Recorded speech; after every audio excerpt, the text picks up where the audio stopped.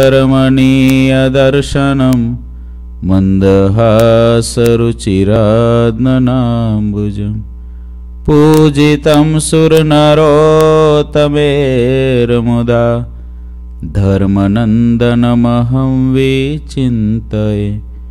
ॐ अवतारिणे श्रीस्वामिनारायणाय नमो नमः। ॐ श्रीहरिकृष्णाय नमो नमः ॐ પુરુષોત્તમાય નમો નમઃ.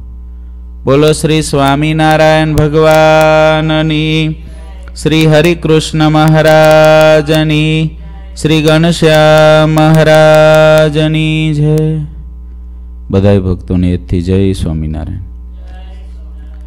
સદગુરુ આધારાનંદ સ્વામી શ્રી હરિચરિત્રનું સાગર ગ્રંથની અંદર પૂર ત્રીજું અને તરંગ એકવીસ. એમાં માંગરોળની કથા લખે છે, મુક્તાનંદ સ્વામી ઉત્તમ રાજાને આ કથા સંભળાવે છે. મહારાજની મૂર્તિના વર્ણન કરતું સ્વામીએ ગઈકાલ ખૂબ સુંદર ધ્યાનનું થોડુંક આપણને પાન કરાવેલું. એની અંદર જે લેસન આપ્યું હતું, એમાં ત્રણ ભક્તો બહુ સારી મહેનત કરી, પાસ થયા કહેવાય. રાત્રે લગભગ બે ત્રણ વાગ્યા સુધી એમની મહેનત ચાલી એવું આજુબાજુના ભક્તો દ્વારા ખબર પડી. કારણ કે એ લેસન કંઈ થોડું નહોતું. વચનામૃત ગોતવું મહારાજના તિલચિહ્નોનો ભેદ ગોતવો, અઘરો તો પડે જ. છતાંય જેને ગોત્યું, એને એટલી તાલાવેલી વધારે કહેવાય મહારાજને હેત કરવા માટે. એને વધારે ઈચ્છા હશે એટલે મહારાજ એને વધારે વશ થાય એવી આપણે મહારાજને પ્રાર્થના કરીએ. ભેદ હતો મુખ્ય તો મુક્તાનંદ સ્વામીના વર્ણનમાં એક જમના ગાલની અંદર જે તિલ છે નાસિકાની પાસે લાલ કલરનો છે, એમ સ્વામીએ કીધું. અને બીજું, જમના પગના નખની અંદર ત્રણ રેખાઓ છે. એક પ્રેમાનંદ સ્વામીના વર્ણન કરતા જુદો ભેદ આવ્યો. સાથે. સાથે એક ભેદ આવ્યો અને પંચાળાના વચનામૃત પહેલું, પંચાળાનું ચોથું વચનામૃત અને સાથે. સારંગપુરનું બીજું વચનામૃત, એ ગઈકાલે હતા. એ પણ બહુ સારી રીતે એ ભક્તોએ ખોડ્યા હતા. વચનામૃતનો અભ્યાસ કરવો જ જોઈએ કે જેનાથી આપણને મહારાજનો સાચો અભિપ્રાય સમજાય? અત્યારે આગળ આવે આધારાનંદ સ્વામી જે કથા લખે છે, એની અંદર આપણે પ્રવેશ કરીશું. પૂર ત્રીજું, તરંગ બાવીસ. પૂર્વાસી આવત સબે શ્રી હરિ દર સહિત પૂજા વિવેદ હે બાતી લે हरि की करत है नीत नगर सेठ में मुख्य ही गोवर्धन बाई नाम लखपते सौकार ते ही हरिभक्त भय निष्काम लखपते सौकार ते ही હરિભક્ત ભય નિષ્કામ. સદગુરુ મુક્તાનંદ સ્વામી ઉત્તમ રાજાને કહે છે, માંગરોળના નાગરિકો બધા રોજ શ્રીહરિના દર્શન કરવા માટે આવતા. તેઓ ભાત ભાતની પૂજા સામગ્રી લાવતા. તેનાથી પૂજા કરતા. તેમાં ગોવર્ધનભાઈ નામે નગરશેઠ મુખ્ય હતા. લખપતિ સાહુકાર હતા. તે હરિના નિષ્કામ ભક્ત થયા. શ્રીહરિએ તેને શુદ્ધ જોયા અને પાકા સમાધિનિષ્ઠ કર્યા. તે બુદ્ધિમાનોમાં શ્રેષ્ઠ હતા, છતાં તેને બધી સંપત્તિ તજી દીધી. તે જ્યાં સુધી જીવ્યા, ત્યાં સુધી ભગવાનની મૂર્તિમાં તલ્લીન રહેતા. મનની વૃત્તિને ભગવાનના સ્વરૂપમાં પરોવી દીધી. પિંડ અને બ્રહ્માંડને અસત્ય નહિવત કરી દીધા. મહારાજ, માંગરોળના ગોવર્ધન શેઠની વાત કરે છે. જે ગોવર્ધન શેઠ એવા હતા, એ માંગરોળ ખાતે મુખ્ય નગર શેઠ હતા. શ્રીજી મહારાજ જ્યારે અઢારસો ને છપ્પનની સાલમાં સૌ પ્રથમ લોજમાં આવ્યા, એ પહેલાં માંગરોળ જાય છે, વન વિચરણમાં. ડોસા વાવ કરીને વાવ છે ને, એ વાવ ઉપર મહારાજ આવીને બેઠા. ગોવર્ધન શેઠે મહારાજને જોયા. ભગવાનને, ભગવાનની ભેગો જે રહેલો હોય ને, એ ઓળખી કાઢે. એને બહુ મહેનત ના કરવી પડે. ગોવર્ધન શેઠે જેવા નીલકંઠ વર્ણિને જોયા, અને એને એમ થયું કે આ તપસ્વી વર્ણિ કોઈ મહાન છે, સામાન્ય નથી. તો વર્ણિને પૂછ્યું હું તમારી માટે કાંઈ ભોજન લાવું તો તમે જમશો? વર્ણિ કે હું ક્યાંય ગામમાં જાતો નથી, વસ્તીમાં જાતો નથી, તમે અહીં આપો તો ભલે. અને ગોવર્ધન શેઠ ઘેર જઈને સુખડી લઈ આવ્યા. સુખડી લાવીને મહારાજને દીધી એટલે નીલકંઠ વર્ણીએ પૂછ્યું કે તમે તાત્કાલિક સુખડી ક્યાંથી લાવે? ત્યારે ગોવર્ધન શેઠ કે મારી ફોઈનું કારજ હતું. એ કારજની જે સુખડી, એ હમણાં જ ફોઈ ધામમાં ગયા છે. એટલે એના કારજની સુખડી હતી, તમારા માટે લાવ્યો છું. મહારાજે કીધું કે તમારા ફૂઈ ક્યાં ગયા? તો કે ગોલોક ધામને પામ્યા છે. રામાનંદ સ્વામીના અનન્ય શિષ્ય હતા. રામાનંદ સ્વામીના કૃપાપાત્ર હતા. ગોલોકમાં ગયા છે ફૂઈ. મહારાજ કે ફૂઈ તો નરકમાં ગયા છે. અને ગોવર્ધન ચમક્યો. ગોવર્ધન કે રામાનંદ સ્વામીના અનન્ય સેવક. રામાનંદ સ્વામીની સેવા જીવન પર્યંત કરી. રામાનંદ સ્વામીના રૂડા આશીર્વાદ કેટલી વખત મેળવ્યા. રામાનંદ સ્વામીના વિશ્વાસુ હરિભક્ત, એ કેવી રીતે નરકમાં જાય? મહારાજ કે, ગઈ તારીફ હોય નરકમાં. અને મહારાજે કરાવી સમાધિ. માંગરોળમાં શ્રીજી મહારાજે સમાધિ પ્રકરણની શરૂઆત નીલકંઠ વર્ણ્યતા તેદી કરી છે. સૌથી પહેલાં માંગરોળમાં જો કોઈને સમાધિ કરાવી તો ગોવર્ધન શેઠને. ગોવર્ધન શેઠ સમાધિમાં ગયા નરકના કુંડની અંદર કુંભી પાકમાં ફૂઈ તો બરાબર ત્યાં રીબાતી હતી દુઃખી થતી હતી. ફૂઈ કે ગોવર્ધન, મને બહાર કાઢ. તે ગોવર્ધન વળી કુંભી પાકમાં ઉતરીને ફૂઈને બહાર કાઢી. હરિલામૃતમાં કથા છે. અને ફૂઈને બહાર કાઢી ત્યાં જમદૂતો આવ્યા ને ફૂઈને નાખી અંદર ને થોડો ગોવર્ધનને ધમકાયો, થોડો માર્યો. કે અહીં આગળ તું અમારા જમરાજાને પૂછ્યા વિના તું પૃથ્વી પરથી અહીંયા આવીને આવી રીતે તારી ફૂઈને બહાર કાઢે, હાલે, ભાગ અહીંથી. ગોવર્ધન સમાધિમાંથી બહાર આવ્યો. મહારાજને કે, મહારાજ, મને બહુ માર્યો ને. મહારાજ કે, હું થયું પણ? ફૂઈ ક્યાં છે? ગોલોકમાં કે નરકમાં? મહારાજ નરકમાં છે. મહારાજ કે, જાઓ, ફૂઈને છોડાવો ત્યાંથી. મહારાજ, મારે નહીં જવું ફરી. પેલા જમદૂતો તો કેવા છે પ્રભુ? હાડકા ભાંગી નાખ્યા મારા બે પાંચ આપીને તો. મહારાજ કે, જાઓ જાઓ. અમારું બળ રાખીને જાઓ. ત્યાં જઈને અમારી મૂર્તિ યાદ કરજો. ગોવર્ધનને વિશ્વાસ તો આવ્યો ખરો. આજ સુધી ક્યારે આવી સમાધિ નથી થઈ. આ કાંઈ ચમત્કારી તો લાગે છે, મોટાને મહાન લાગે છે. ફરી પાછા સમાધિ કરીને ગયા મહારાજની ઈચ્છાથી. નીલકંઠ વર્ણિનું સ્વરૂપ ત્યાં સંભાર્યું મહારાજને સંભાર્યા મહારાજનું બળ આવ્યું. જમદૂતોની હામા થયા અને ફોઈને ત્યાંથી બદ્રિકાશ્રમમાં મોકલી દીધા તપ કરવા માટે. પાછા આવ્યા. મહારાજને કે માંગરોળની વાવ ઉપર કે તમે બહુ મહાન લાગો છો. તમે તો ભગવાન છો. ત્યારે નીલકંઠ વર્ણીએ ગોવર્ધનને અક્ષરધામ એ વખતે જ બતાવેલું અને પોતાનો નિશ્ચય કરાવેલો. ગોવર્ધન શેઠ કે, પણ પ્રભુ, મને એ કોક મારી ફૂઈ નરકમાં કેમ ગઈ? એ તો રામાનંદ સ્વામીની શિષ્યા હતી. ત્યારે નીલકંઠ વર્ણી કે, તારી ફૂઈ છે ને, એને રામાનંદ સ્વામીએ સોનાના બે કડા હાચવા આપેલા. અને બે કડા દીધેલા. અને સ્વામીએ કીધું, છ મહિને પાછો આવું, ત્યારે હું માગીશ. હાચવીને રાખજો. તારી હુએ જ્યારે સ્વામીએ એની પાસે કડા માગ્યા, ત્યારે તારી ફૂઈ એવું બોલી કે, મેં તો તમને ક્યારના દઈ દીધા છે. મેં તો તને, મેં તો તમને ક્યારના દઈ દીધા છે કડા મારી પાસે કડા છે જ ક્યાં? મને આપ્યા પછી તમે પાછા લઈ ગયા છો. આ તારી ફૂએ ધંધો કરેલો. ભગત તો બહુ સારી હતી. સત્સંગે બહુ સારો હતો. ભાગવતે બહુ વાંચતી, મંદિરે બહુ જાતી, પૂજાએ બહુ કરતી રસોઈ બહુ દેતી, પણ આ એક જ ધંધો થઈ ગયો કુંભી પાકમાં ધકેલી.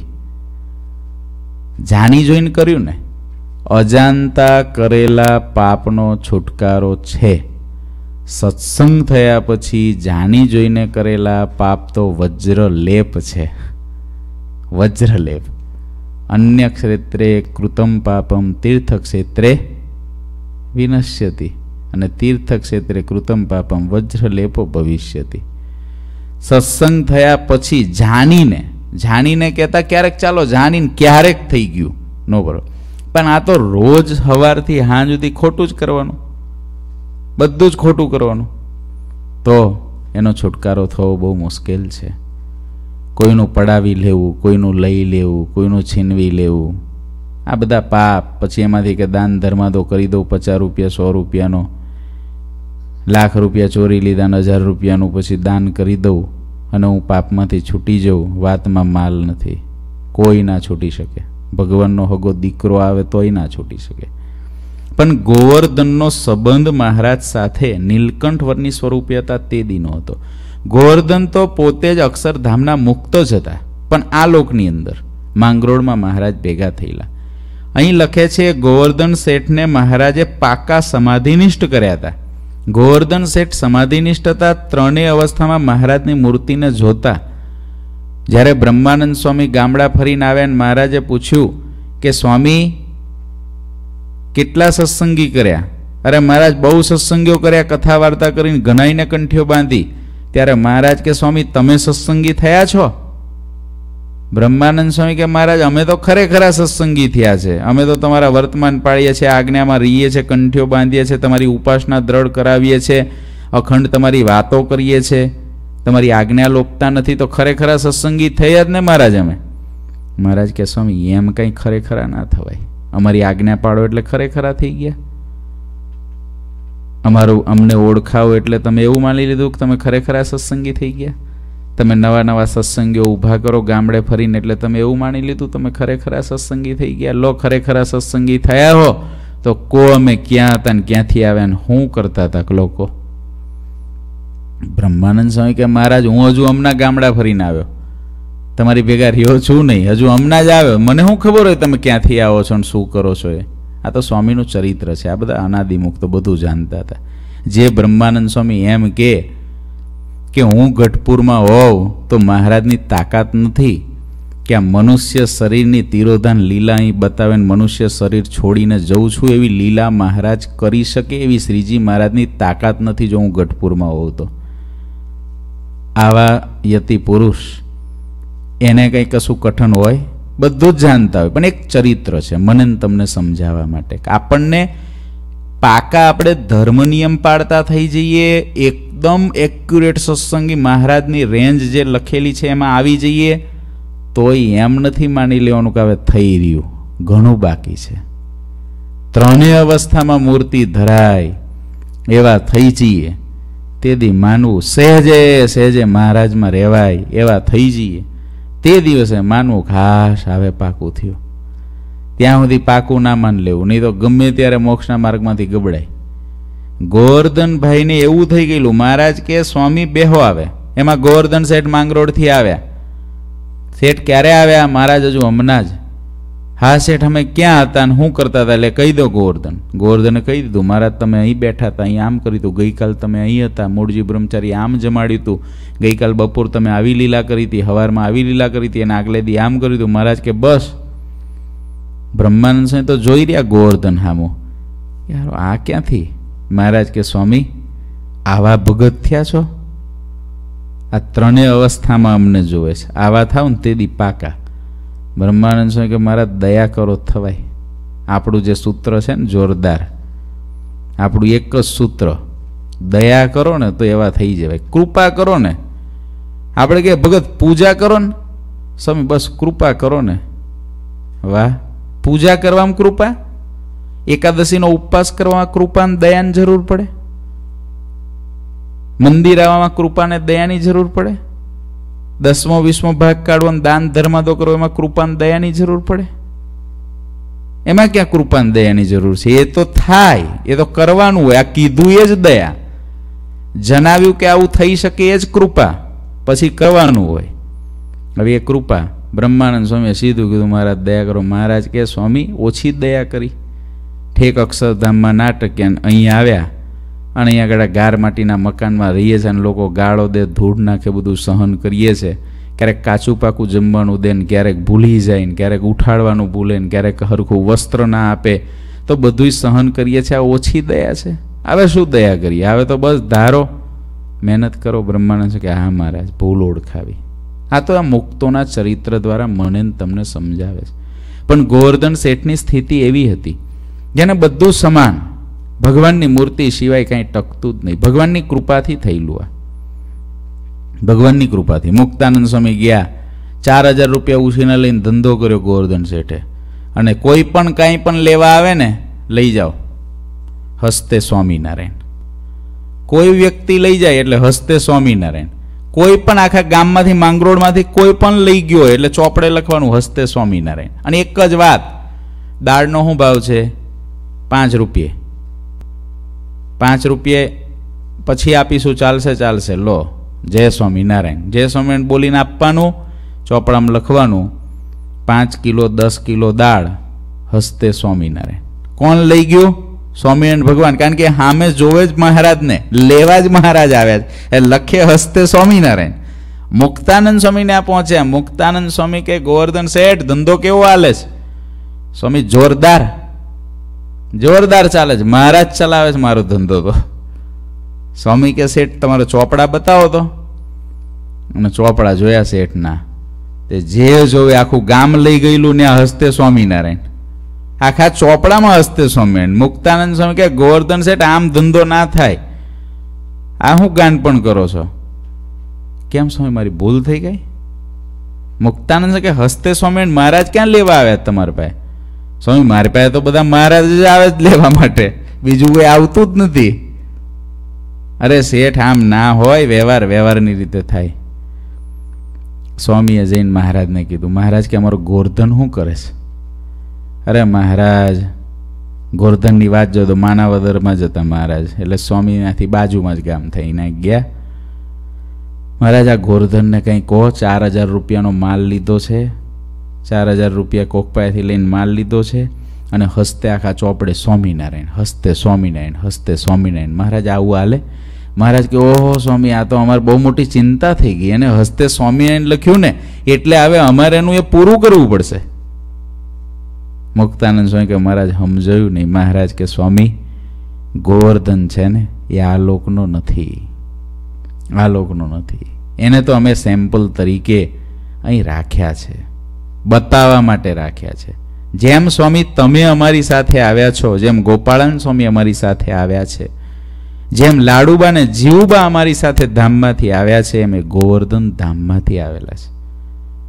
પરંતુ આ લોકની અંદર કોઈને કોઈ મારે તમારા દ્વારા કાંઈ બીજું પ્રસ્થાપિત કરવું છે, ગોપાળન સ્વામી જોડે બીજું પ્રસ્થાપિત કરવું છે, એમ ગોવર્ધન દ્વારા ત્રણેય અવસ્થામાં અમારા સ્વરૂપને પકડી રાખે ભગત કેવો હોય એ પ્રસ્થાપિત કરવું છે. એના માટે અમે એને એવો બનાવ્યો છે.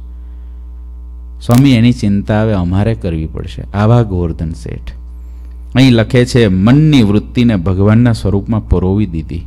જ્યાં સુધી જીવ્યા, ત્યાં સુધી ભગવાનની મૂર્તિમાં તલ્લીન રહેતા. જીવ્યા ત્યાં સુધી. બોલો પર્વતભાઈએ પર્વતભાઈએ સમ ખાઈને કીધું કે મેં જે દિવસથી આ દુનિયામાં હું આવ્યો પર્વતભાઈ કે અને આ દુનિયાની અંદર સમજનો થયો, તે દિવસથી આ જ દિવસ સુધી મૂર્તિ સિવાય કાંઈ ખાધું હોય અને મૂર્તિ સિવાય કાંઈ પીધું હોય, મૂર્તિ સિવાય કાંઈ જોયું હોય અને મૂર્તિ સિવાય કાંઈ સાંભળ્યું હોય, મૂર્તિ સિવાય બીજા કોઈનો સ્પર્શ કર્યો હોય, તો મને પાંચસો પરમવંશના સમ છે. મૂર્તિ સિવાય કાંઈ જોયું નથી, મૂર્તિ સિવાય કાંઈ સૂંઘ્યું નથી, મૂર્તિ સિવાય કાંઈ સ્પર્શ નથી કર્યો. આ પર્વતભાઈ, તોય છોકરા થયા. મોટાની ક્રિયા જીવના કળિયામાં ન આવે. તોય છોકરા થયા. સ્વામી કે ગ્રહસ્થાશ્રમમાં પરોતભાઈ જેવા રે, છોકરા તો થાય. જેને મૂર્તિ સિવાય કાંઈ જોયું નહીં, એને છોકરા કેમ ના થયા? મૂર્તિ સિવાય કાંઈ જોયું નથી. જેને મૂર્તિ સિવાય કાંઈ અનુભવ્યું નથી, એ ખેતીવાડી બધું જ કરતા કેવી રીતે કરતા? જેને મૂર્તિ સિવાય કાંઈ જોયું નથી, એ કેમ ખબર પડે? દીકરો ધામમાં ગયો. તળાવમાં નાઈને હાલતા થઈ ગયા. એમ ખબર પડે મૂર્તિમાં છે. કેમ ખબર પડે? સાત સાત દિવસ સુધી ગઢપુરની અંદર સભામાં બેસે, ભૂખ તરસ ન લાગે. એમ ખબર પડે મૂર્તિમાં છે. હળ હાંકતા હોય અને મહારાજના સ્વરૂપના પર ચોવીસ અવતારો મહારાજમાં લીન થઈને પ્રગટ થાય એ દર્શન પર્વતભાઈને હળ હાંકતા હાંકતા થાય એમ ખબર પડે મૂર્તિમાં છે. મોટા મુક્તો, મહામુક્તો આ પૃથ્વી પર આવે. ત્યારે ક્રિયા તો મનુષ્યના જેવી જ હોય. બોલવું, ચાલવું, ખાવું, પીવું, બેસવું, ઉઠવું, બધું જ એવું હોય. પણ એમાં અને સામાન્ય જીવમાં વિચક્ષણ વ્યક્તિ હોય ને એને ખબર પડે કંઈક ફેર છે. આના બોલવામાં, જીવના બોલવામાં ફેર છે. આના જમવામાં આના જમવામાં ફેર છે, આના જોવામાં આના જોવામાં ફેર છે. એમ ઓળખાય. કારણ કે કાંઈ મુક્ત આવે થોડા તેજને મધ્ય અહીં બેઠા રહે. શ્રીજી મહારાજ આવે તો મહારાજ વચનામાં કે દીવો લઈને ભગવાન આગળ ધરીએ ત્યારે મહારાજ જેવા છે એવા દેખાય. પણ એમાં તો અનંત સૂર્યોનો પ્રકાશ રહેલો છે. એમ કીધું. એમ મહામુક્તો લાગે છે મનુષ્ય જેવા છે દિવ્ય. પણ જે એને ઓળખે જેને પારખે, એનું કામ થઈ જાય. ગોવર્ધન શેઠની એવી સ્થિતિ હતી, જ્યાં સુધી જીવ્યા ત્યાં સુધી મૂર્તિમાં તલ્લીન. મૂર્તિમાં તલ્લીન. બહુ ચરિત્રો છે ગોવર્ધન શેઠના. મહારાજ વરતાલમાં હતા, તો ચંદન ઘસીને લાવ્યા, મહારાજને અર્ચન કરવા. તમને ખબર છે કે ઘણી વખત એવો વિવેક શીખવાડેલો છે તમને? તમે કદાચ લખી રાખ્યું હશે તો ભૂલ નહીં થાય, સંતો આવે ત્યારે બાકી ભૂલ તમારી જોવામાં આવે. એક જ કંકુની ડબ્બી હોય ઘણાને ત્યાં, એક જ ડબ્બી. એ ડબ્બી સીધી જ ખોલવાની હોય. એ કંકુની ડબ્બી જે દુકાનમાંથી મળે ને એ જ ડબ્બી હોય. અને એ જ ડબ્બી મૂકી રાખી હોય. જ્યારે સંતોન ઠાકોરજી આવે, એટલે સીધું એ કોરું કંકુ જે હોય ને, ત્યાંથી લેવાનું સીધું ઠાકોરજીને ચાંદલો કરવાનો. પછી આમ સંતોન ચાંદલા કરવાના. પાછા સંતો એમાંથી લઈને હરિભક્તોને ચાંદલા કરી દે. એ ડબ્બી પાછી પેક કરીને મૂકી દેવાની. દુકાનમાંથી આવી એવી જ. પછી એ ડબ્બી પાછી ક્યારે ફરી પાછી સંતોની પધરામણી થાય, ત્યારે ફરી એ કંકુ પાછું ઠાકોરજીને જાય, કોનું પ્રસાદીનું? સંતોનું, હરિભક્તોનું પ્રસાદીનું. પાછું હરિભક્તોનું પ્રસાદીનું સંતોને જાય, સંતોનું પાછું હરિભક્તોને જાય. આમ થતું હોય. ચંદન રાખતા હોય ને તો ચંદન જે ઓગાડેલી વાટકી હોય, એ સ્પેશિયલ એ વાટકી જ રાખવાની. હવે એમાંથી અર્ચા સંતોએ તમને કરી દીધી, પછી એ ચંદનની વાટકી આખી ધોઈ નાખવી પડે. કાં તો એ ફોર્મનું હોય તો નાખી દેવું પડે. પછી નવું ચંદન લેવું પડે જ્યારે લઈએ ત્યારે. આપણું પ્રસાદીનું ભગવાનને જાય કે આપણું પ્રસાદીનું આપણાથી મહાન કોઈ વ્યક્તિ સુધી જાય, એ આપણને દોષ લાગે. મહારાજ માટે ચંદન ઘસીને લાવે ને, તે મહારાજ ગોવર્ધન બેઠેલા. મહારાજ કે ગોવર્ધન, આમાં પગ બોળ ચંદનના વાડકામાં પગ બોળી દે. તમે વિચારો, અર્ચા નહીં કરો ને તારો પગ બોળ. આ ગોવર્ધન તો મૂર્તિમાં મસ્ત.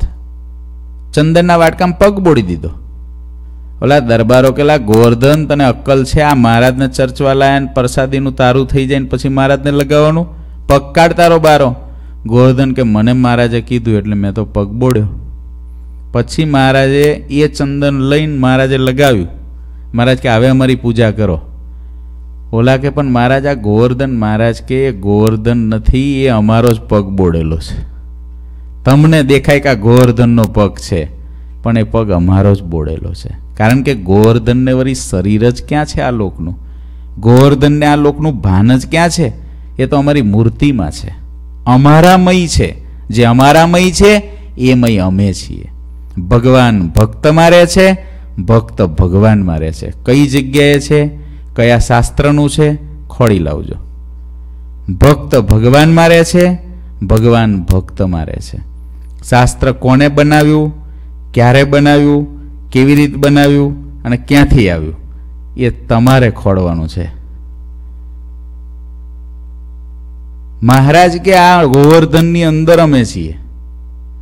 પછી એ ચંદનનો વાટકો લઈને મહારાજે બધાય સંતોને ભક્તોને બધાને અર્ચા કરી. એ ચંદનથી. થોડી વાર થઈ. મહારાજ કે, ગોવર્ધન, પાટ ઉપર બેસી જા તે મહારાજ બેઠેલા ને મહારાજ કંઈ પાટ ઉપર, અહીં બેસી જા. ગોવર્ધન પાટ ઉપર બેસી ગયા. મહારાજને આડો, રીતસર આડા. મહારાજને આખા ટાંકી દીધા. ઓલા દરબારો કેલા ગોવર્ધન, તને અક્કલ છે? આટલી મોટી સભા બેઠી છે. અમે બધા મહારાજના દર્શન કરે ને તું ક્યાં વચ્ચે આવીને બેઠો? ગોવર્ધન કે, મને મહારાજે કીધું, એટલે હું તો બેઠો. મહારાજ કે, ગોવર્ધનને કાંઈ આવરણ છે નહીં. એને કાંઈ ખબર નથી એ ક્યાં બેઠો છે. આવી સ્થિતિ. પછી મહારાજ ઢોલિયાથી હેઠા ઉતરી ગયા. મહારાજ કે, ગોવર્ધન હોઈ જાય ચાલ. એટલે તરત હોઈ ગયા. આપણે કરી શકીએ આવું? આ તો મૂર્તિમાં રહેવા વાળો જ કરી શકે. હોઈ ગયા. ગોવર્ધન શેઠ હોઈ ગયા. પછી મહારાજ કે, હાલો બધા ચરણ ચંપી કરો ગોવર્ધનની. તે મુક્તાનંદ સ્વામી ગોવર્ધન શેઠના પગ દબાવવા બેઠા. ઓલા દરબારો કેલા, ગોવર્ધન તારું કલ્યાણ બગડશે, આ મુક્તાનંદ સ્વામી તારા પગ ડાબે છે, તારા વિચાર વિચાર વિચાર કે. ગોવર્ધન શેઠ કે, મને કાંઈ ખબર નથી. ભલે ડાબે કે. ત્યારે મહારાજ કે, ગોવર્ધનને કાંઈ ખબર નથી, મુક્તાનંદ સ્વામી પગ ડાબે છે, ગોપાળાનંદ સ્વામી ડાબે છે. એ તો અમારી મૂર્તિમાં છે. ત્યારે દરબારોને સંશય થાય કે આ ગોવર્ધન આપણી ભેગા જ બેહે, આપણી ભેગા જ ખાય, આપણી ભેગા જ હુવે.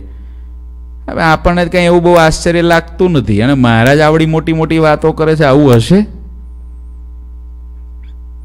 એને દેહદર્શી દેખે પોતા જેવા સંસારી. તમારી ભેગા જ ભગવાનના મહામુક્તો રહેતા હોય, પણ જો તમે એ દ્રષ્ટિને પામેલા ન હો, તો તમારી વચ્ચે આવીને વિદાય થઈ જાય તો પણ તમને મને ઓળખાય નહીં. મારીને તમારી બાજુમાં જ બેસતા હોય, જમતા હોય, ખાતા હોય, હૂતા હોય, કેમ નથી ઓળખાતા? કોઈ કે ઓળખી જ નાખીએ, કેમ ના ઓળખાય? ના ઓળખાય ભાઈ. ગોપાળન સ્વામી બેઠા હતા તોય નહોતા ઓળખાતા. ગોપાળન સ્વામી જ્યારે એવું કહેતા કે જે ભગવાનની સાથે મળેલા હોય તો ભગવાનની સાથે મિત્રની જેમ વર્તતા હોય, ભગવાનને કાંઈ પૂછવું હોય તો પૂછી લે, ભગવાનને કાંઈ કહેવું હોય તો કહી દે, પુરુષોત્તમ નારાયણને પણ એને કાંઈ જણાવવું હોય તો જણાવી દે. ત્યારે એ સભામાં એવું પૂછવાવાળા હતા કે એવા પુરુષ અત્યારે પૃથ્વી પર હશે? ગોપાળન સ્વામીને એવો પ્રશ્ન પૂછ્યો હતો કે એવા પુરુષ અત્યારે પૃથ્વી પર હશે? આપણે તો કહી દઈએ ગોપાળન સ્વામી કેવડા મોટા, તો એ સભામાં પૂછવાવાળા શું ખબર કે આપણે જ નહીં હોઈએ એમ. તે દીના ધક્કા ખાતા હોઈશું હજુ. હજુ નથી સમજાયું એટલે ધક્કા ખાતા હોઈશું, હજુ નથી ઓળખાતું એટલે ધક્કા ખાતા હોઈશું, શું ખબર? સ્વામી કે એવા પુરુષ પૃથ્વી પર હશે? સ્વામી કે એવા પુરુષ આપણાથી ચાર જ હાથ છેટે હોય? ઓળખાય તો. કેટલા ચાર હાથ છેટે હોય. આપણી બાજુમાં બેઠા હોય. આપણી જોડે રોજ બોલતા હોય. તોય ના ખબર પડે. કારણ કે મહારાજ આવે કે મહારાજના મુક્તો આવે. શ્રીજી મહારાજ ઉપર. હમણાં જ ગઈકાલે જ અમે રાત્રે અગિયાર, સાડા અગિયારે સંતો ચાલતા ચાલતા સત્સંગની વાતો કરતા હતા. ત્યારે જ મેં કીધું કે કેટલા મોટા મોટા ફિલોસોફરો શ્રીજી મહારાજ પર લખીને ગયા. તે કોઈ શ્રી સમાજ સુધારક લખી ગયા ને કોઈ આ લખી ગયા. પરભ્રમ તો કોકને જ ઓળખાયા. નહીં તો લખ્યું કે શ્રીજી મહારાજ બહુ મોટા સમાજ સુધારક હતા. શ્રીજી મહારાજે સમાજને સારું ઉત્થાન કર્યું. સ્વામિનારાયણ ભગવાને આ કર્યું. પણ સ્વામિનારાયણ ભગવાન છે. એટલું એ ચિંતન કરવાવાળા, માનવાવાળા હોય. એવા તો કોક મોક્ષ ભાગી નીકળ્યા કે જે માની લીધું. નહીં તો દેખાયું, પણ એને સમાજ સુધારક સુધી જ ગયું કે એમની પ્રવૃત્તિ બહુ સારી હતી. એટલો ગુણ લીધો. પણ પરબ્રહ્મ છે, એવો સ્વીકાર દરેકને ના થઈ ગયો. એ અઘરો છે. સર્વાવતારી, મહારાજની સામે જ બેઠેલા, સર્વાવતારના અવતારી. નહોતા સમજી શકતા બધા સર્વાવતારના અવતારી નહોતા સમજી શકતા. ભગવાન સમજી શકતા હતા. સામે બેઠા છે ને, કઠણ પડે. વર્તે એમ, બોલે એમ, કરે એમ. ગોવર્ધન શેઠ, ઓલા દરબારો કે ક્યાંક આ મહારાજ કે એવું જ હશે? ગોવર્ધનને બધું હરખું? મહારાજ કે દરબારો, હું સંકલ્પ કરો તમે. જાઓ મીઠું લઈ આવો. કિલો બે કિલો મીઠું લઈ આવો અને કિલો બે કિલો ખાંડ લઈ આવો. સાકર દરબારો લઈ આવ્યા. મહારાજ બોલો હવે હું. મહારાજ કંઈ બે થાળી ગોવર્ધન સામે મૂકી દો. ગોવર્ધનને મહારાજ કે ગોવર્ધન, હાલો અમને જમાડવા બે જમાડવાનું છે. એટલે ગોવર્ધન શેઠ આમ મુઠ્ઠી મીઠવાનું ભરે, આમ જમે. હાકર મુઠ્ઠી ભરે, મોઢામાં મૂકે. પાછા મીઠું, હાકર. મીઠું, હાકર. પ્રેમથી જાણે મેવા મીઠાઈ જમતો હોય એમ જમે. મેવા મીઠાઈ જમે એમ જમે. ધમેરિયા, ખાલી થઈ ગયું બધું મીઠું હાકર. ઓલા દરબારો કે ગોવર્ધન મરી જશે. મહારાજ કે નહીં મરે? એને કાંઈ ન થાય, જે થાય એ અમને જ થશે. એને કાંઈ નહીં થાય, કારણ કે એ તો અમને સંભાળીને જમે છે. આવી સ્થિતિવાળા ભગત ગોવર્ધન શેઠ માંગરોળના. શું શ્રીજી મહારાજ એની ઉપર રાજી હતા? એટલે મહારાજે આવી સ્થિતિ, આ કૃપાથી થાય આ સ્થિતિ કૃપાથી થાય. આ તમે પુરુષ પ્રયત્ન મીઠું હાકર ખાવાની ચાલુ કરી દો આજે નાજે કે હું ચાલુ કરી દઉં, એમ કંઈ સ્થિતિ ના થાય. આ તો આપણો પ્રયત્ન જોવે. પ્રયત્ન આપણો જ્યારે મૂર્તિમાં જોડાવાનો થાય ને મહારાજની ઈચ્છા થાય, કંઈ મુક્તાનંદ સ્વામી, ગોપાળાનંદ સ્વામી બધાને એવી સ્થિતિ હતી, તોય મહારાજે ના બતાવી. ગોવર્ધન શેઠની બતાવી ગ્રહસ્થ આશ્રમમાં હતા તોય બતાવી, ઓલા ત્યાગ આશ્રમમાં હતા તોય ન બતાવી. મુક્તાનંદ સ્વામીને પેલી ઉંદરની લીંડીવાળી ખીચડી, પેલા સાધુ ધ્યાનમાં બેસી જતા ને એવી જમાડી, તો સ્વામીને આફરો ચડી ગયો. પેટ ફૂલી ગયું આખું. એવું થયું. અને એ મીઠું હાકર ખાઈ જાય છે ગોવર્ધનભાઈ. બે અક્ષરધામના નાનાદી મુકતો જ હતા. પણ મહારાજને જેના દ્વારા જે બતાવવું હતું એ બતાવ્યું. ગોપાળન સ્વામી, જુનાગઢનો રંગીલદાસ બહુ હેરાન કરતો સ્વામી કે આ રંગીલદાસ બગલનો એક વાળ મૂક્યો તો ઘર પતી ગયું. જય સ્વામિનારાયણ. પહોંચી ગયો. પણ એ ઐશ્વર્ય આપ્યું હતું મહારાજે. જીવુબાને એવું હતું. એક બાઈ આવી. જીવુબા કે તાર સાસુ તને ભગવાન ભજવા દેશ? ઓલી કે ના, બહુ હેરાન કરે છે. જીવબા કે ચિંતા ના કરતી. તું ઘેર પહોંચી છે પહેલાં જતી રહેશે. તે આઠ દીમાં તો ગઈ. ઓલી બહુ ઘેર પહોંચીને એ પહેલાં સાસુમાં ઉગલી ગયા. જીવબાએ સંકલ્પ કર્યો કે મહારાજ આને ભગવાન ભજવા દે એવું કરો. સાસુમાં ગયા. ઐશ્વર્ય એવું. મહારાજે દીધું હોય. મહારાજને બતાવવું હોય. બતાવે. આવું ગોવર્ધન શેઠ દ્વારા કર્યું. એવા ગોવર્ધન શેઠ હતા. પિંડ બ્રહ્માંડને અસત્યને નહિવત કરી દીધા હતા. શરીરમાં ક્યાંય વૃત્તિ જ નહોતી. આત્મા રૂપ, પરમાત્મા રૂપ રહેતા. મનની વૃત્તિને ભગવાનના સ્વરૂપમાં અખંડ પરોવી દીધી હતી. તેડી લડાએ હરી બહુ ભાતી સો બાત મોખ કહી ન જાતી.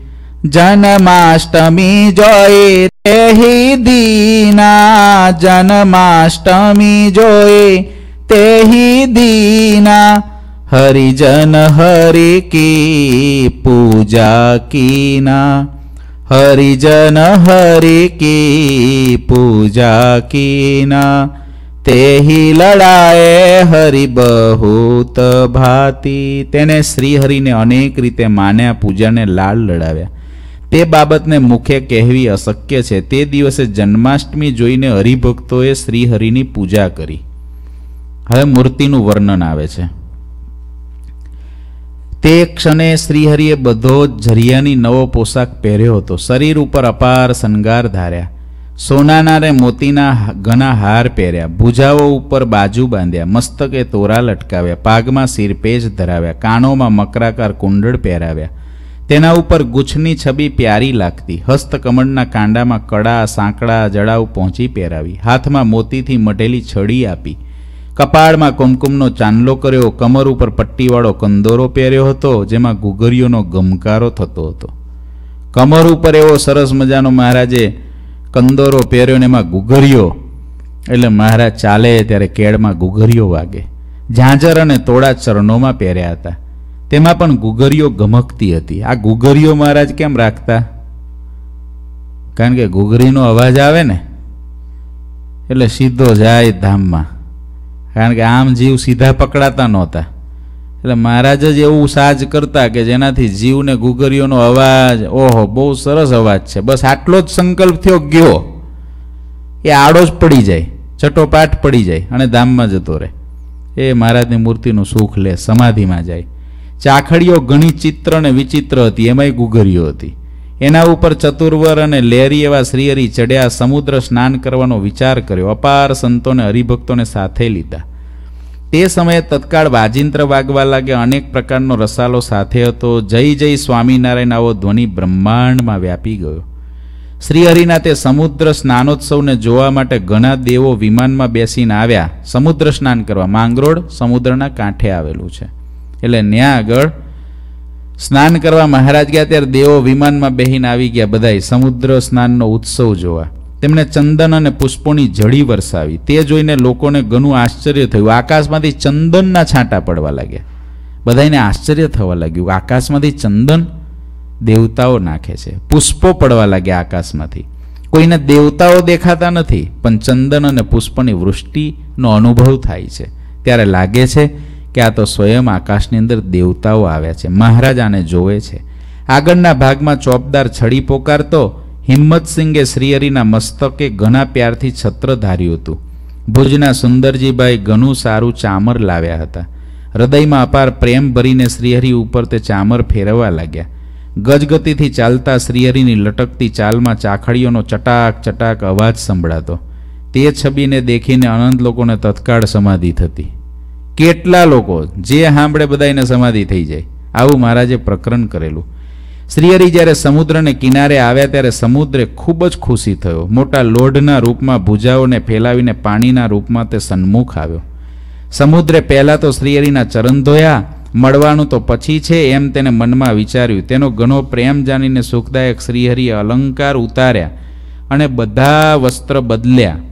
તેનો અત્યંત પ્રેમ જાણીને શ્રીહરિ તે વેળાએ બાદ ભરીને સમુદ્રને મળ્યા માંગરોળનો સમુદ્ર ભાગશાળી છે કે ત્યાં મહારાજાને બાદ ભરીને મળ્યા સમુદ્ર ગંભીર શબ્દથી શ્રીહરિના ગુણોને ગાતો હતો દર્શન કરવામાં તેને તૃપ્તિ થતી નહીં સમુદ્રને એમ થયું મને બહુ દિવસે દર્શન થયા છે એટલે તૃપ્ત થયા વિના એક ટસે મહારાજના દર્શન કરે છે बहुत विनायक है कर जोरी तुमको दिए जो संपत्ति मोरी व्रजा के साप करी में स्वामी व्रजा के साप करी में स्वामी क्षार गति को पाए बहु नामी ક્ષાર ગતે કો પાય બહુનામી તેને હાથ જોડીને ઘણી વિનંતીથી કહ્યું હે સ્વામીન હે બહુનામી, મેં આપની મારી સંપત્તિ આપી છે. વિરજાના સાપથી મારું જળ ખારું થઈ ગયું છે. બ્રહ્મવૈવર્ત પુરાણમાં કૃષ્ણ જન્મ ખંડ, એના પહેલા જ અધ્યાયની અંદર આ કથા છે જે કૃષ્ણ અને શ્રીદામા અને રાધિકાજીને જે પરસ્પર ઝઘડો થયો હતો. રાધિકાજી જ્યારે શ્રી કૃષ્ણના દર્શન કરવા જાય છે, ત્યારે સીધા શ્રીદામાજી ચોકીદાર તરીકે ઊભા હતા. અને શ્રીદામાજી પાર્ષદ છે ભગવાનને. એમને કીધું, કોઈને આવા ન દેતા. વિરજા દેવી સાથે ભગવાન એકાંતમાં હતા અને ત્યારે રાધિકાજી અને શ્રીદામાને ઝઘડો થઈ ગયો આ બાબતનો. એટલે સામાસામી સાપ થયા. એ સાપ થવાનું નિમિત્ત મુખ્ય તો કૃષ્ણ ભગવાનને આ પૃથ્વી પર આવવા માટેનું એક નિમિત્ત ગોલોકમાં ઉત્પન્ન કરવામાં આવેલું. અને ત્યારે ત્યાં આગળ કથા છે કે વિરજા એ નદી રૂપે થઈ ગયા. અને એ સમયે બધું એ એ જે કંઈ ઘટનાઓ ઘટી એ બ્રહ્મવૈવર્ત પુરાણના કૃષ્ણ જન્મખંડની અંદર છે. હવે આપ મારો તે સાપ ટાળો. મહાન બળવંત અને મહારાજાધિરાજ આપ ચાલીને મારે આંગણે પધારે, આજ કૃપા કરીને મને કૃતાર્થ કર્યો. નવસો ને નવ્વાણું નદીઓ મારી પત્નીઓ છે. નવસે નવ્વાણું નારી જો મોરી, ચરણ પરસત ભઈ બળ જોરી. તવ ચરણ કી कीजे अधिकारी तव चरण की कीजे अधिकारी यह विनती हरि लीजे धारी यह विनते हरि लीजे धारी સમુદ્ર કીધું કે હે પ્રભુ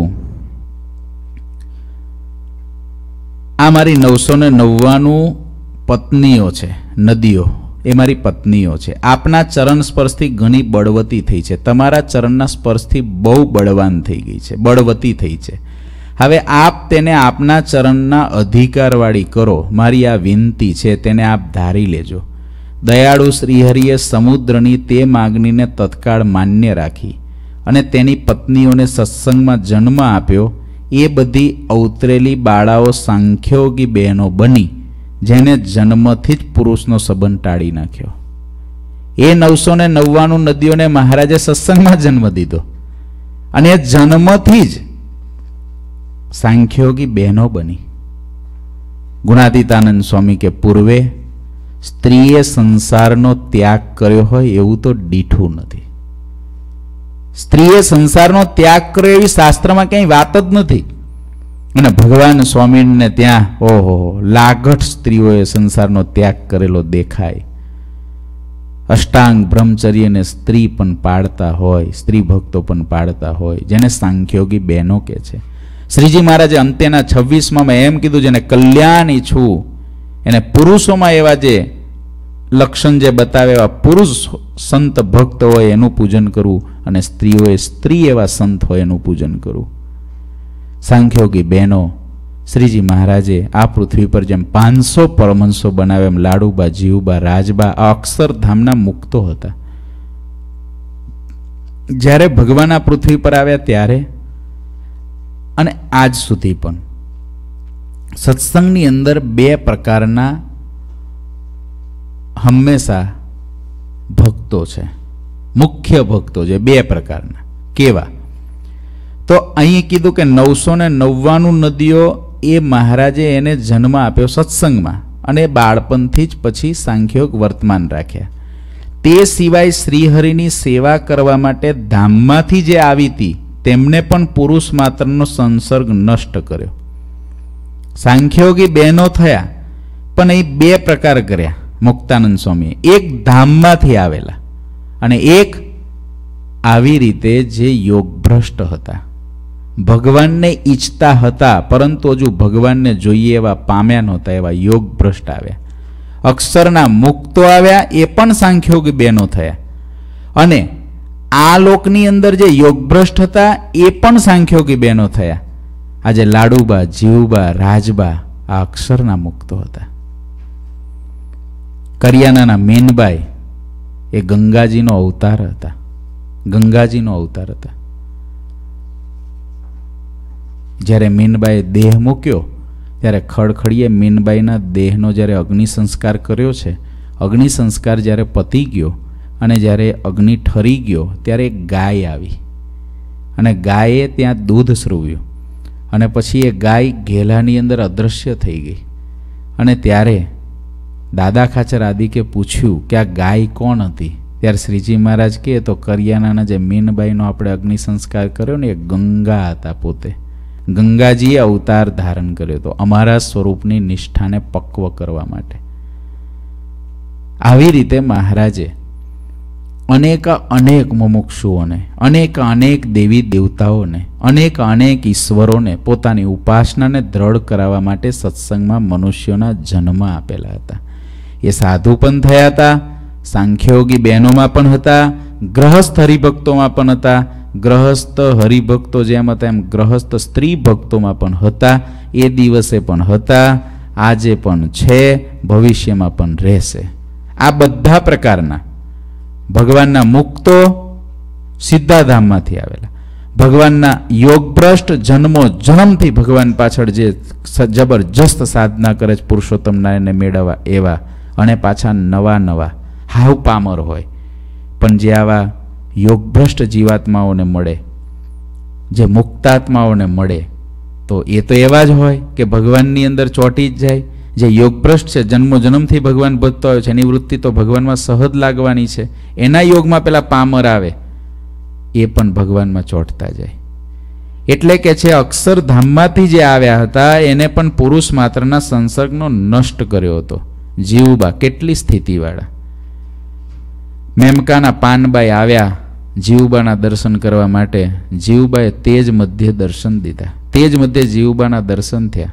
જીવબા કે, બોલ પાન, શું જોઈએ? ત્યારે પાનબાઈ કે, બા, બીજું તો કાંઈ નહીં, પણ અંતકાળે લેવા આવજો. જીવબા કે, તારું ધામ પાકું, જા અંતકાળે આવીશ. અને અંતકાળે જીવબાઈ એમને લેવા આવ્યા. આવા આવા ભક્તો, ત્રાપસના જાનબાઈ, સાંખ્યોગ વર્તમાન પાડતા મહારાજ પાસે આવ્યા. ગઢપુરની અંદર સાંખ્યોગ વર્તમાન પાડીને રહેતા એમના સાસરાવાળાને ગમ્યું નહીં. સાસરાવાળા ભેગા થઈને લેવા આવ્યા, હરજી ઠક્કર સંબંધી થાય, એમને ઘેર ઉતર્યા મહારાજે પાકું સીધું દીધું મહારાજે કેવડાવ્યું જાનબાઈને રહેવા દો, ભગવાન ભજવા દો, પણ ન માન્યા. અને કે, અમારું માણસ અમને પાછું દઈ દો. મહારાજ કે, જાનબાઈ, જાઓ, આ લોકો તમને લેવા આવ્યા છે. આટલું જ મહારાજે કીધું, ત્યાં તો જાનબાઈનું શરીર આખું કાળા ઠીકરા જેવું થઈ ગયું. લોહી આખું કાળું પડી ગયું અને હેઠા પડી ગયા. જાનબાઈને ઉપાડીને હરજી ઠક્કરને ઘેર લઈ ગયા. પ્રાણ છૂટી ગયા. ઓલા સંબંધીઓ આવીને કે, જાનબાઈનો પ્રાણ છૂટી ગયો. મહારાજ કે, હાલો, અમે આવ્યા દર્શન દેવા. જૈન મહારાજે જાનબાઈની જમણી આંખ આમ ખોલી અને મહારાજ કે, જાનબાઈ, અમે તમારા પર બહુ રાજી છે. મહારાજે ઓલાને કીધું, તમારે તમારું માણસ જોતું હતું ને, આ પડ્યું લઈ જાઓ. અમારું જે હતું અમે લઈ લીધું, તમારું તમે લઈ જાઓ. પણ કેટલું હેત? મહારાજે ખાલી એટલું કીધું, જાનબાઈ, જાઓ. કાળા ઠીકરા જેવા થઈ ગયા. આટલા હેતવાળા. નાના રામબાઈ જીવુબા પાસે રહેતા અને જીવુબા પાસે રહેવાથી એમને વૈરાગ્ય થયેલો.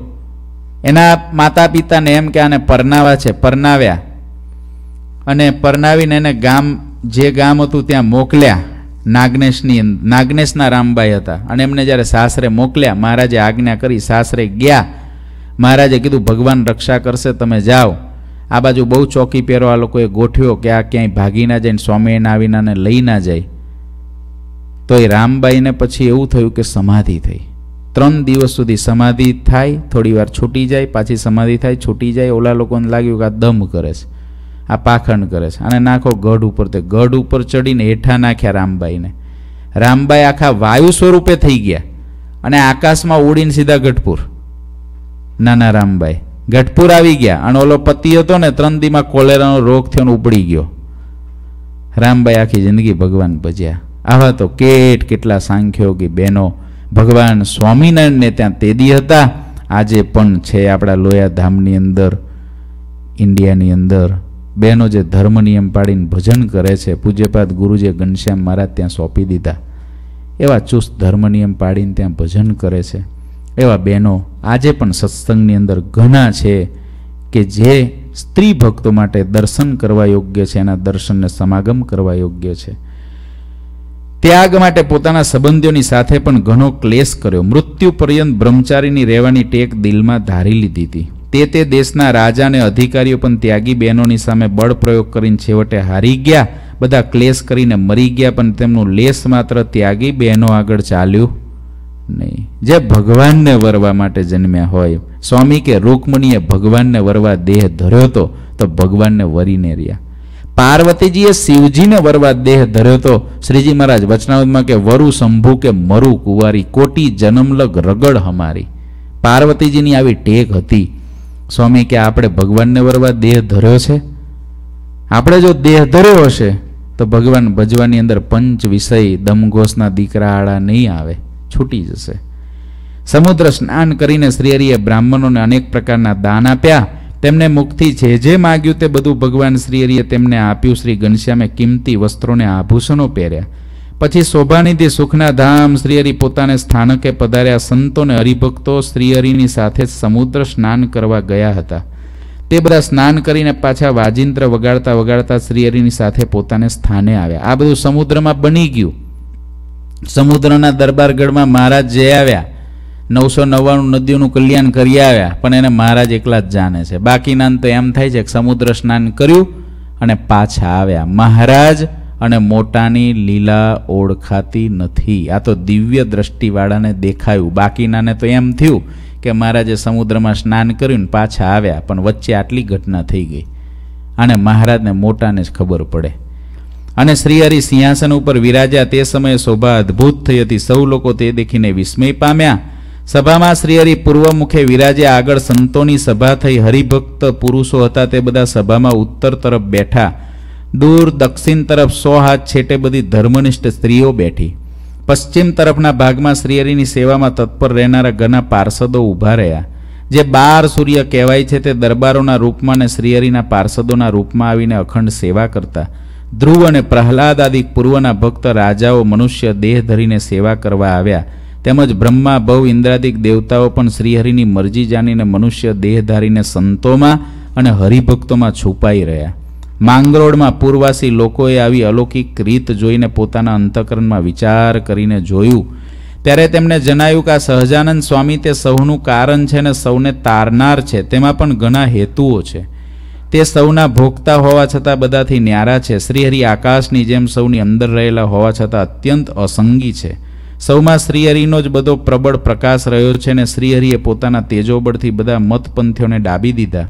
જેથી તેમને દેખીને બધા ગભરાઈ જતા હતા. જગતમાં જેટલા રાજાઓ છે તે અને બધા કહેવાતા ગુરુઓ અને કહેવાતા આચાર્યો બધાનું તેજ શ્રીહરિએ હરી લીધું.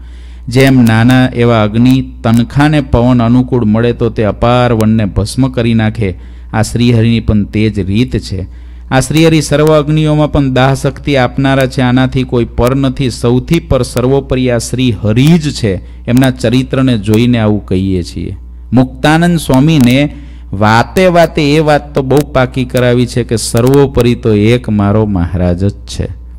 સ્વામી કે હું આંખોએ જોઈને આ વાત કરું છું કે આ શ્રીહરિ સર્વથી પર છે. સર્વથી પર છે. સહજાનંદ સ્વામી જ્યારથી અહીંયા આવ્યા છે, ત્યારથી તેમની રીત નિત્ય અલૌકિક દેખાય છે. એને જોઈને અમે કહીએ છીએ, આ કોઈ મનુષ્યનું કાર્ય કે વર્તન નથી, માંગરોળના લોકો કહે છે. જ્યારે એક પહોર દિવસ બાકી રહ્યો, એવું જોયું, ત્યારે સંતોએ વાજિંત્ર લીધા. પ્રેમ, રસ, તરબોળ થઈને મલ્હાર રાગના રસિક કીર્તન ગાવા લાગ્યા. મલ્હાર રાગ ગાય એટલે વરસાદ આવે. મલ્હાર રાગના કીર્તનો શરૂ કર્યા. જ્યારે ના આવે ત્યારે મલ્હાર રાગ ગાવો. જેને ગાતા આવડતો એને પાસે ગૌરાવો. ના ના આવે તો સમજવું ગાતા નથી આવડતું. દેવરાજ ઇન્દ્રે તત્કાળ તે સમય વિચાર્યો, એમ નથી, ગાતા આવડે તો આ કળિયુગની અંદર તો અઘરું છે. ગાતા આવડે ને તો ઇન્દ્રદેવને વિચાર કરવો પડે. આ તો રોજ મલ્હાર ગાય એવા છે. અહીં ક્યાં અમેરિકા મલ્હાર ગાવો પડે છે? આવ્યા જ કરે છે. ઘણી વખત એટલો બધો આવી જાય છે કે અહીંની ગવર્મેન્ટને અઘરું પડે સરખું કરવું. દેવરાજ ઇન્દ્રે તત્કાળ સમય વિચાર્યો. મલ્હાર રાગ ગવાયો એટલે ઇન્દ્રને થયું, આપણને આમંત્રણ છે, હાલો. ઐરાવત હાથીની સવારી કરીને આવ્યો. ઐરાવત હાથી સફેદ હાથી છે ઇન્દ્ર પાસે. લઈને આવ્યા. પવનરૂપી પોતાના પડગમ ચડાવ્યા. વાદળાની સેના સાથે લીધી. હવે ઇન્દ્રનું જોવો કેવું સરસ સૈન્ય છે, એ કે છે. વીજળી રૂપી નટી નાચવા લાગી. એને દેખીને આકાશ ભયંકર રીતે ગાજવા લાગ્યું. બારે મેઘની સેનામાં લાલ પીલા અને ગુમડિયા રંગના વાદળા સરદાર હતા. આખી ઇન્દ્રની સેના છે આ બધી. તેની અંદર વાદળાની કાળી ઘટા હતી, તેને છુપી રીતે ધીમે ધીમે વરસવાનો આરંભ કર્યો. તેમાં શ્રીહરિને દેખીને મનમાં હરખ આવ્યો, તેથી તે ઘટા સુખદ ઝીણા ઝીણા બુંદે વરસવા લાગી. ઝીણા ઝીણા બુંદે. મહારાજને જોઈને આનંદ થઈ ગયો. આપણે જ્યારે પ્રતિષ્ઠા વખતે નહીં, ઘનશ્યામ મહારાજનું નીકળીને સામયું. ત્યારે ઇન્દ્ર આવી ગયા હતા ઈરાવત લઈને. નટી નાચવા લાગી હતી વીજળી રૂપે. પવનના પડગમ વાગવા લાગ્યા હતા વાદળાની સેના હારે હતી. અને છોડવું હતું તો વાદળ બહુ મોટું, પણ મહારાજને જોયા ને એટલે ઝીણી ઝીણી બુંદે. ચાળણીમાંથી જેમ પાણી પડે ને એમ, જાણે સેન્ટને અત્તરના ફુવારા છાંટતા હોય. પગ તો પલળી ના જાય, કોરાઈ ના રહે, ખબર પડે વરસાદ આવ્યો, નહોતો આવ્યો, એવું લાગે. એટલું સરસ ઇન્દ્રદેવે સેવા કરી હતી આપણે, પીવડા ઘનશ્યામ મહારાજની પ્રતિષ્ઠા વખતે. જ્યારે આનંદનો વરસાદ પૂરો થયો, ત્યારે હજુરી સેવકોએ આવીને શ્રીહરિને સ્નાન કરાવ્યું. અને એ દિવસે દસ અગિયાર વાગે, જે દિવસે પ્રતિષ્ઠા હતી ને તે દિવસે દસ અગિયાર વાગે તો ખુલ્લું હતું આકાશ. અને ત્યારે ગુરુજીને કોઈ કીધેલું ત્યાં, શોભા પાસે, ગુરુજીને કોઈ સંત કે ગુરુજી સ્નાન કરવા જવું હતું તમારે ચાદર મૂકી દઈએ. ગુરુજી કે ના, આજે તો મહારાજનું જ્યારે સામયું નીકળે ને ત્યારે સ્નાન કરવાનું છે, ઉપર કોન્ફરન્સ રૂમમાં ગુરુ કે સામયું નીકળશે ને મહારાજનું ત્યારે ભેગું ભેગું નહીં લઈશું બધું આમ કીધેલું. એટલે મહારાજને મોટા એની દ્રષ્ટિ બહુ વિશાળ હોય, બહુ લાંબુ જોતા હોય, જાણતા હોય, પણ આપણી જોડે આપણા જેવા થઈને રહેતા હોય. જ્યારે આનંદનો વરસાદ પૂરો થયો, ત્યારે હજુરી સેવકોએ આવીને શ્રીહરિને સ્નાન કરાવ્યું. વરસાદ થયો, તે અવસર જોઈને મોર, કોયલ બપયો દેડકા બોલવા લાગ્યા. શ્રીહરિને રાજી કરવા માટે મોર આદિક પ્રાણીઓ પોતાના સમાજને જલ્દી તૈયાર કરીને અનેક રીતે મધુર શબ્દોને બોલવા લાગ્યા. કારણ કે બધા શ્રીહરિને રાજી કરીને પોતાનો જન્મ સફળ કરવા ચાહતા હતા. મહારાજ આવ્યા તો પશુ પક્ષીઓને પણ પોતાનો અવતાર સાર્થક કરવા માટેની તક મળી ગઈ. પક્ષીઓના મીઠા સુક્કારી શબ્દોને સાંભળીને શ્રીહરિએ તેના વખાણ કર્યા. મહારાજ કે, ઓહો, મોર કેટલું સરસ બોલે છે. કોયલ કેટલું સરસ બોલે છે. બપોયો કેટલું સરસ બોલે છે. દેડકો કેટલો સરસ અવાજ કરે છે. આમ મહારાજ એના વખાણ કરવા લાગ્યા. ઓલાનો વધારે પાવર ચડ્યો, વધારે બોલવા લાગ્યા. પક્ષીઓ શ્રીહરિને રાજી કરવા માટે ઉત્સાહિત થયેલા જોઈને વધારે બોલવા લાગ્યા. ઉત્સાહિત થયેલો વરસાદ આખી રાત વરસ્યો વરસાદ જોઈને શ્રીહરિએ કહ્યું, ગાય બ્રાહ્મણને બ્રહ્મવેતા સંતોને માટે જ વરસાદ થાય છે, બીજાને માટે થતો નથી. પૃથ્વી ઉપર અનાજ પણ ગાય માટે, બ્રાહ્મણ માટે બ્રહ્મવેતા સાધુઓ માટે થાય છે. બાકીના તો શિવ ભેગા પોઠિયા પૂજાય એમ પૂજાય છે. સમજ્યા ને? બાકીનાની માટે આ પૃથ્વી રસાતળમાં જતી રહે. જો આ પૃથ્વી ઉપર ગાય ન હોય આ પૃથ્વી ઉપર સંત ન હોય, આ પૃથ્વી ઉપર પવિત્ર બ્રાહ્મણ ન હોય, આ પૃથ્વી ઉપર પવિત્ર ભક્તો ના હોય, તો આ પૃથ્વી આ પાપી લોકોના પાપને જીરવવા સમર્થ જ ના થાય, રસાતળમાં જતી રહે. આ બધા જે કાંઈ સૃષ્ટિની અંદર બધું થાય છે, અચાનક ભૂકંપ ને આ તે બધું થવા પાછળના કારણ આ જ છે. પાપ વધી રહ્યું છે. સંતો ભક્તોની સંખ્યા ઘટી રહી છે. એ કંઈ ઝાઝા છે નહીં, કળિયુગનો પ્રભાવ વધી રહ્યો છે. એ તો આપણા સ્વામિનારાયણ સંપ્રદાય જેવા સંપ્રદાયોને ક્યાંક એવું જાગતું હશે કે જે જગ્યાએ સત્યુગ જેવું વાતાવરણ છે. બાકી તો બધે અધર્મ અધર્મ ને અધર્મ છે. એટલે પૃથ્વી એ ભારને ખમી ન શકે. પૃથ્વી જે રસ આપે છે, એ પણ સંતો ભક્તો માટે આપે છે. એમાંથી દુનિયા જીવે છે. જ્યારે અધરાત થવા આવી, ત્યારે ભુજના સુંદરજીભાઈ એક રમણીય હિંડોળો તૈયાર કર્યો. ઘનશ્યામ શ્રીહરિ તેના ઉપર બેઠા ધર્મનંદન શ્રીહરિએ વિવિધ પ્રકારના શણગાર શરીરે ધારણ કર્યા. એનાથી મૂર્તિની અદ્ભુત શોભા, શોભાયમાન અને છટાદાર મૂર્તિ લાગતી હતી. શ્રીકૃષ્ણનો જન્મનો સમય થવા આવ્યો. જન્માષ્ટમીનો દિવસ છે રાતના બાર વાગે. ત્યારે બાલમુકુંદ ભગવાનને પારનામાં પધરાવ્યા. સૌના હૃદયમાં અપાર હરખ હતો. ભગવાનના જન્મનો સમય થઈ ગયો છે. એવું જાણીને નોબતને ઢોલ વગેરે જાત જાતના વાજિંત્ર વાગવા લાગ્યા. બંદૂકોના અવાજ પણ થવા લાગ્યા. ઉત્સવ ભલી ભાતે થયો, દહીં અને દૂધ બહુ ઉછાળ્યા એ સમયે ચંદ્રોદય થયો એટલે રાતનું અંધારું ટળી ગયું. આમ તો વધ પક્ષ છે. પણ વરસાદ પડેલો વાદળ છાઈ ગયેલા. એટલે ચંદ્રોદય હતો ને ચંદ્રના દર્શન થતા નહોતા, પ્રકાશ હતો નહીં. પણ જ્યારે ઉત્સવ કરવાનો થયો, ત્યારે વાદળ હટી ગયા. ચંદ્રોદય થયો, રાતનું અંધારું દૂર થઈ ગયું. આવી રીતે ધામધૂમથી માંગરોળમાં શ્રીજી મહારાજે જન્માષ્ટમીનો ઉત્સવ કર્યો છે. ઇતિ શ્રી સહજાનંદ સ્વામી શિષ્ય સિદ્ધાનંદ મુનિ વિરચિત શ્રી હરિચરણ સાગરના તૃતીય પૂરમાં જન્માષ્ટમીનો મહોત્સવ અને સમુદ્ર સ્નાન એ નામે બાવીસમો તરંગ સમાપ્ત થયો. શ્રી ઘનશ્યામ મહારાજની